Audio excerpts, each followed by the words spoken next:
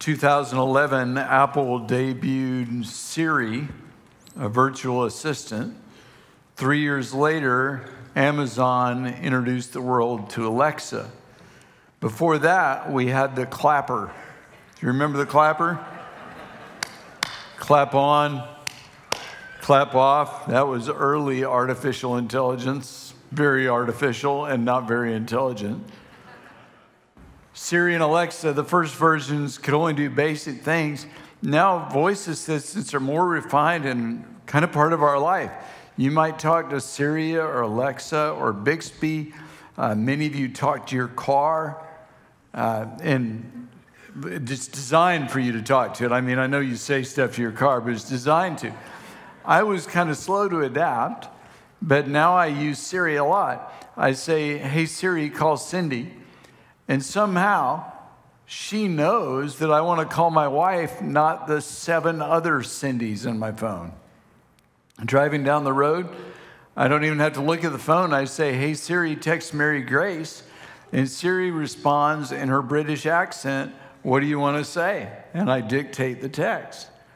Or I say, Hey Siri, remind me tomorrow at 9 a.m. that I need to clip my toenails. Nine o'clock, Siri reminds me. Siri, tell me a dad joke. She does. Siri, what's 14 times 18? She gets it right every time. Siri can tell you what time a ball game starts, when it's going to rain. It can set a timer, play a song, or give you directions to the nearest Chick fil A. It's incredibly useful technology, helpful when it works, which is most of the time. We value technology that's helpful. If it saves you time, is simple to use, makes routine easier, it passes the test. We also value helpful people. Helpful people do what others don't see or notice. Helpful people don't always get the glory, but they get the job done. Helpful people clean up coffee spills in the lobby. They don't just watch me on my hands and knees, they get down and help me clean. Helpful people volunteer their time to better the lives of others. They are others focused, like the teams I talked about a few minutes ago that are visiting prisons. Helpful people look for ways to assist others, even strangers. This is something I've been working on when I travel because I have a tendency to kind of just get in my little zone and I'm only thinking about where I'm going and what I'm doing, bury my head in a book or listening to music and just doing my thing. So I've been trying to instead notice and help others. When someone looks lost or confused, I stop and ask if I can help. I have walked people who can't speak or read English to their next flight. I've given directions to people who are obviously lost and also obviously clueless if they're taking directions from me. Uh, I've carried luggage I've carried babies. It's, it's just changed. It's even changed the way I leave hotel rooms.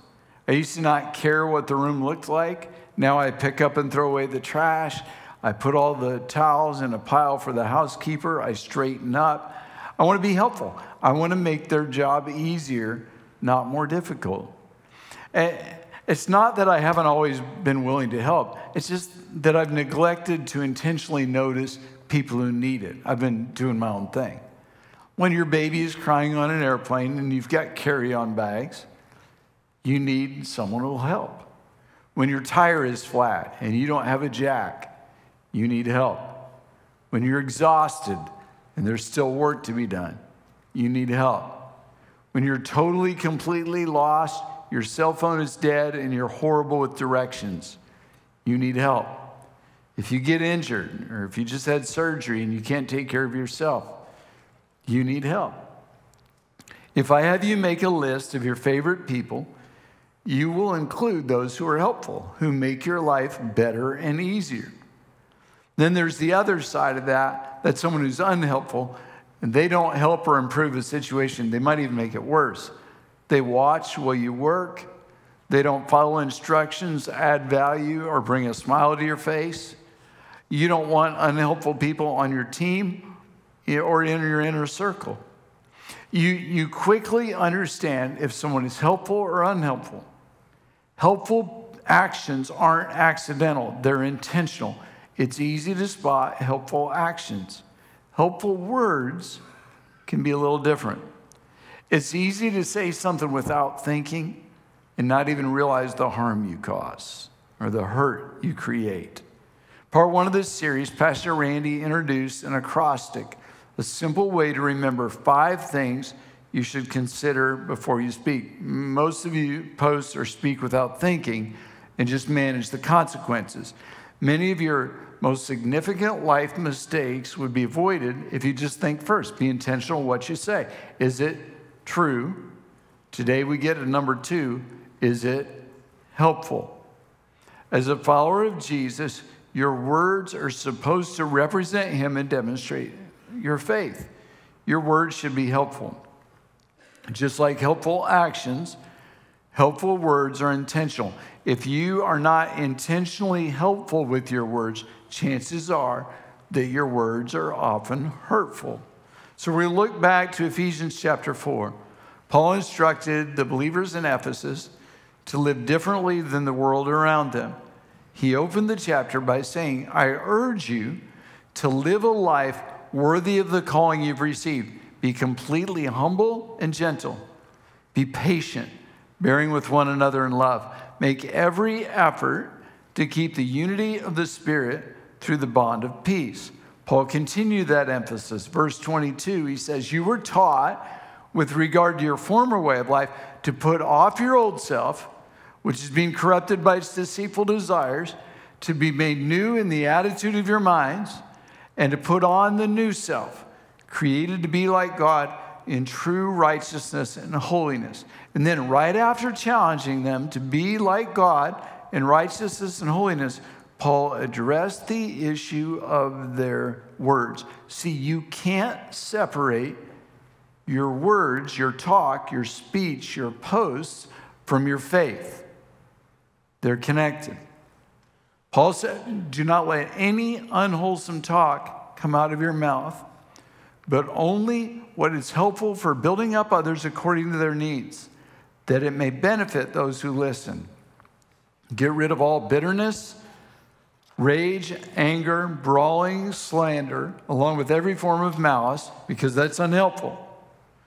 Be kind and compassionate to one another, forgiving each other, just as in Christ God forgave you. Now, I want to read verse 29 again, put the emphasis in a slightly different place. Do not let any unwholesome talk come out of your mouths. This is the Bible. I'm reading it straight. Do not let any unwholesome talk come out of your mouths, but only what is helpful for building others up according to their needs, that it may benefit those who listen. Helpful words help. And it's not if you think it's helpful. That's not the standard. The biblical standard is do they think it's helpful? When you are done speaking or posting, does the other person feel helped and built up according to their needs? Are they better because of time spent with you? Are you speaking for your benefit? You've got something to say and you, you just, you've got to say it? Or are you speaking for their benefit? There is something they need to hear and you're willing to say it. When someone excuses away hurtful words by saying, Well, I was just trying to help, often what they mean is, Don't evaluate me by what I say. Instead, examine my motive. The problem is, that's not what Scripture says. The verse doesn't read only what you think is helpful, it says only what is helpful for building up others according to their needs. Now, you may not be aware, but there is an election coming up in our country. We're just about 50 days away. And I understand you have some strong opinions about politics.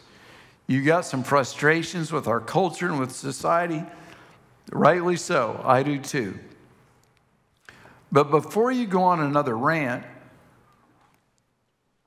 ask yourself what I'm about to say will this point people to Jesus Or will this push people away from Jesus?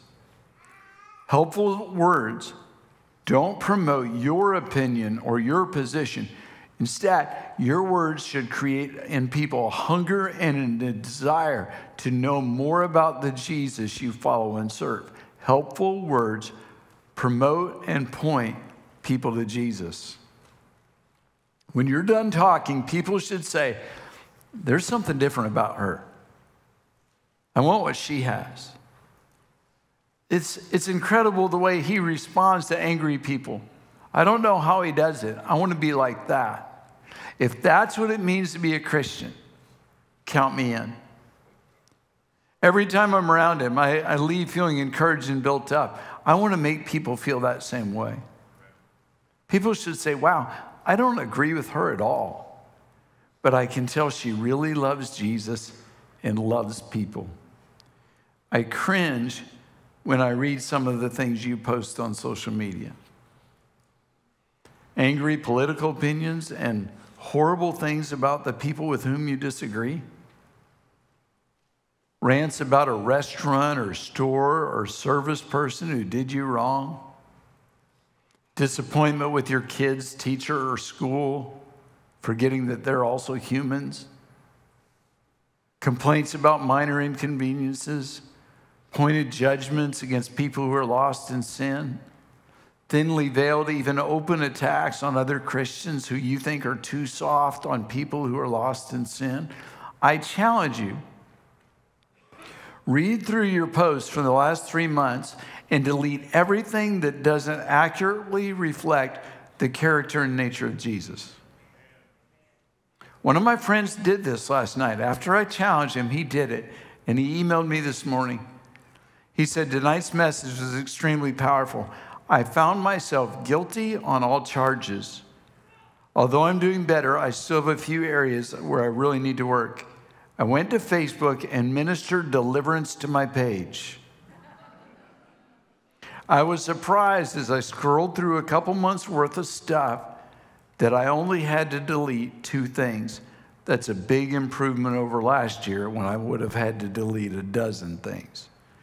I plan to stay vigilant and push people towards the cross, not away from it. You say, Well, I think we need to take a stand. We need to let people know about sin and sinners. Followers of Jesus absolutely should stand for righteousness. But it is not your job to identify and condemn every wrong. It is not your assignment to make sure sinners know their actions are sinful. That's the Holy Spirit's job. John chapter 16, Jesus was speaking about the Holy Spirit and he described the role of the Holy Spirit. Here's what he said I tell you the truth. It's for your good. He's talking to his disciples. It's for your good that I'm going away. Unless I go away, the counselor, the Holy Spirit, will not come to you. But if I go, I will send him to you. And when he comes, he will convict the world of guilt in regard to sin and righteousness and judgment. In regards to sin, because men do not believe in me. In regards to righteousness, because I'm going to the Father where you can see me no longer. In regard to judgment, because the prince of this world now stands condemned. When, when someone who's never really been to church doesn't know much about Jesus, they, they come to church and they just begin to weep. They're crying and they feel wrong about their sins, even though they don't really understand what that means, that is the Holy Spirit bringing what's called conviction. Conviction is an awareness of wrong. This is key. The Holy Spirit convicts of sin. That's His job, not ours. This is something Christians get wrong all too often. Since the Holy Spirit doesn't seem to work fast enough, you decide it's your job to be the convictor of sin. You need to let the world know everything they're doing wrong, and you do it with volume, all caps, and anger. The problem is, our feeble attempts to convict the world of sin only convinces them that we are judgmental and critical. And instead of pointing people to Jesus, we pull people away from Jesus. Now, I think sometimes those posts come from a genuine desire to help a lost world find Jesus, but you're trying to engage people in the wrong forum. You see, when Jesus confronted people about their sin, he met them where they were in person. He looked into their eyes, he held their hands, he cried with them, he shared a meal, he listened to their stories. He washed their feet. It was personal, often dirty, uncomfortable. You cannot claim to act like Jesus when you sit in the comfort of relative anonymity and viciously blast the very people he came to earth and died for.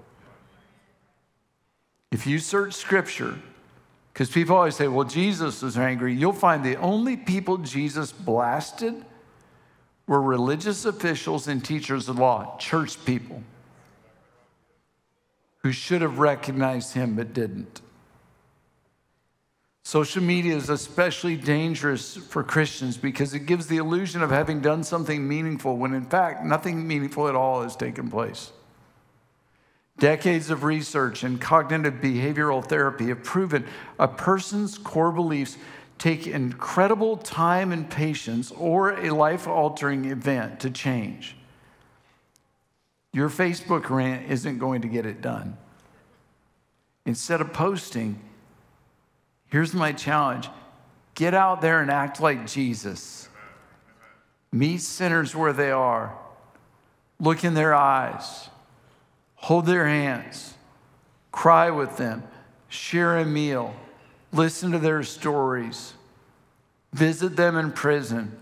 Wash their feet. And once you've done all that, you'll be able to speak from a place of love like Jesus. Go where they are. And let your words promote and point people to Jesus. Trust that when people discover his love and grace, that their attitudes and behaviors will change. See, we get it backwards. We are focused on changing their attitude and behavior when all that is is a reflection of what's in their heart. If we will instead love them to Jesus, then it, when their heart changes, their attitude and their behaviors will change. Trust God's timing and God's process in people's life, and trust that the Holy Spirit is fully capable of convicting of sin. Now let's look back at verse 3, Ephesians 4. Make every effort to keep the unity of the Spirit through the bond of peace. Helpful words promote unity and peace. They don't confuse, they don't divide. Instead, they bring people together. Before you speak, ask yourself will this lead to greater unity in the church and in the body of Christ? Will this, what I'm about to say, lead to greater peace? Does this help build the kingdom? It's amazing the things people will say in church. When they're unhappy, they quickly turn self centered and selfish. If someone makes a mistake that affects them, they're ready to write that person off or fire them from their ministry position. When their preferences are ignored, they loudly state their displeasure. And somewhere, sometime, they were taught this saying the squeaky wheel gets the grease. Now, if you're under 40, let me explain that. that means the way to get what you want is to gripe, complain, and be negative. So I want you to know two things. Number one, that won't work here. It's not going to. We won't let the negative voice control the agenda. You will not get your way by being angry and divisive. I promise. Number two, when your words bring division, you're not helpful. You're not promoting unity and peace and you're not obeying God's command. Now, hear me close because I get misquoted. I am not saying that your opinion doesn't matter. We make mistakes. I make a lot of mistakes. I, I have, I told our team the other day, no one has more bad ideas than me. I lead the team in bad ideas. You have lived through many of my bad ideas. We make mistakes we miss things that need to be pointed out. But that can be done in a way that promotes unity and peace. If you can't say it with gentle love, it's not the right time to say it. Here's, here's one of the prayers that I often pray Psalm 19:14 May the words of my mouth and the meditation of my heart. Meditation of my heart is, is my thinking, my attitude. May the words of my mouth and the meditation of my heart be pleasing in your sight, O Lord. You say, Well, I don't swear. I don't use profanity. I don't tell dirty jokes. I don't lie. That's good. I'm proud of you. But that's not the standard. The question is are your words and the attitudes behind them pleasing to Jesus? Helpful words please Jesus. So before you speak, ask yourself will this please Jesus? Now, I read the passage earlier, and when I did, I left out the verse that follows it. So, in light of everything we've talked about it, I want to read it again. Do not let any unwholesome talk come out of your mouths, but only what's helpful for building up others according to their needs, that it may benefit those who listen. And do not grieve the Holy Spirit of God, with whom you were sealed for the day of redemption. When your words are not helpful, when they do not produce unity and peace, when they don't benefit those who listen, not only do you cause division and confusion, you grieve the Spirit of God. The message says it this way don't grieve God, don't break his heart. His Holy Spirit moving and breathing you is the most intimate part of your life, making you fit for himself. Don't take such a gift for granted. When Parker and Tyler were little, they fought and argued. Don't they look just perfect there?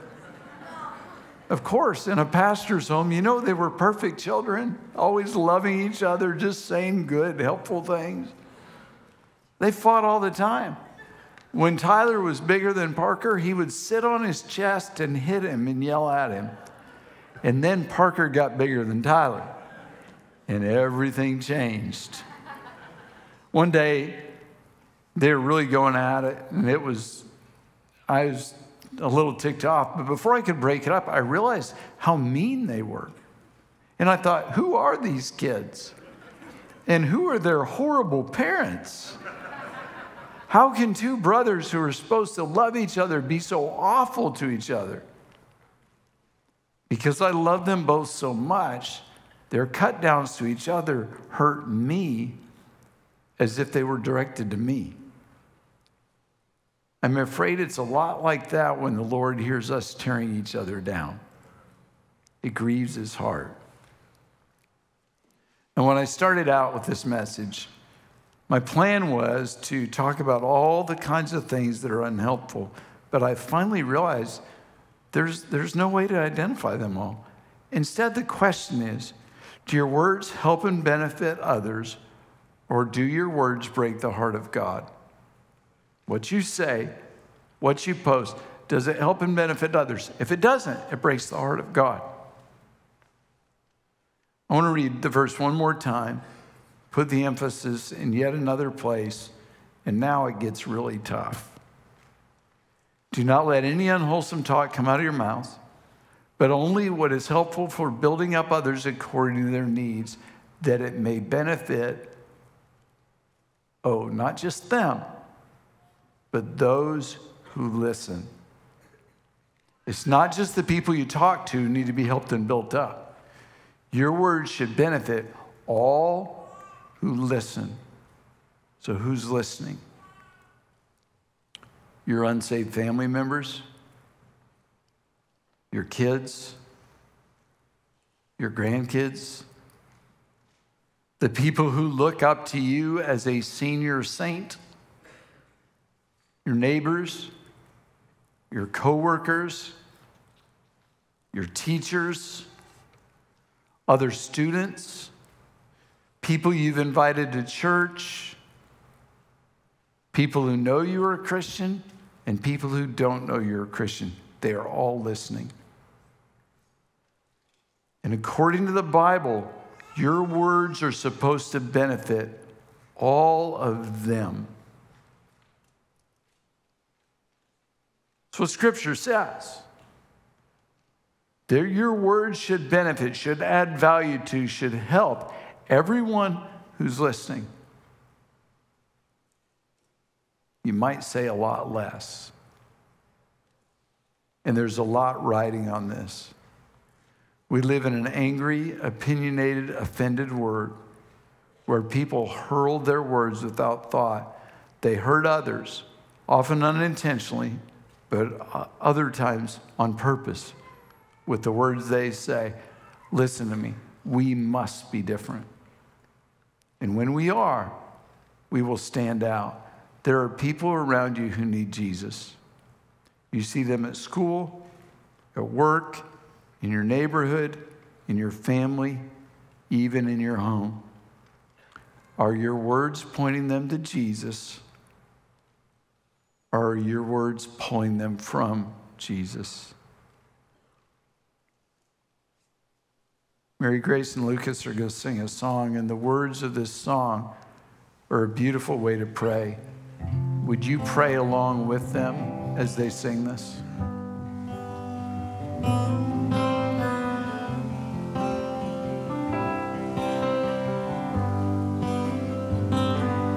Make me wise to walk this earth and gentle like your father, joyful like a child, secure. And make me brave to speak your words, give faith that beckons miracles, make me pure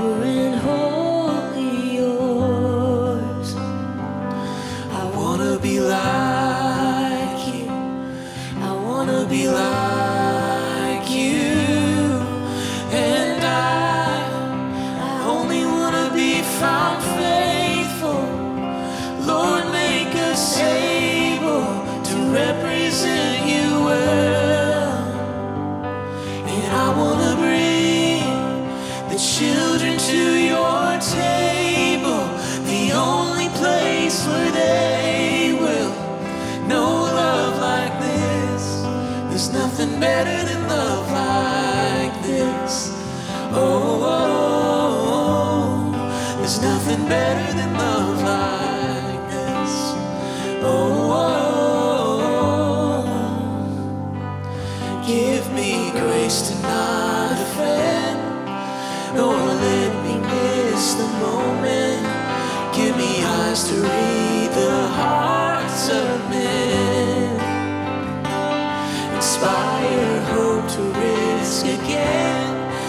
take chances for your kingdom. I choose today to spend my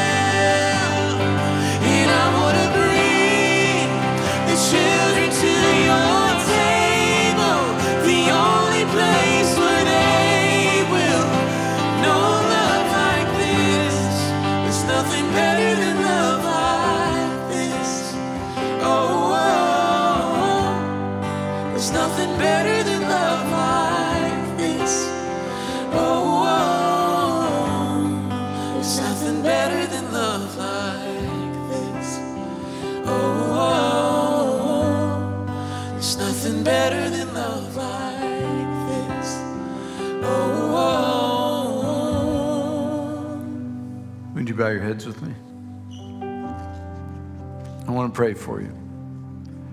I want to pray that your words will point people to Jesus and that instead of being accidentally hurtful, they will be intentionally helpful.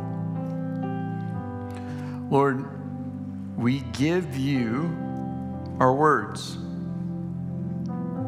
We recognize that we can't separate them from our faith or from our relationship with you, but that we are accountable to you for every word spoken. Lord, I pray that our words would be helpful, not just for the person we say them to, but for everyone who listens, that we would point them to you and to relationship with you. Lord, forgive us because we have a lot of opinions. And we have an alarming tendency to elevate our opinions without thinking about the results of that. Lord, not just the words we speak, but the what we post. Let it represent you and draw people to you. Build unity and bring peace, we pray. In Jesus' name, amen.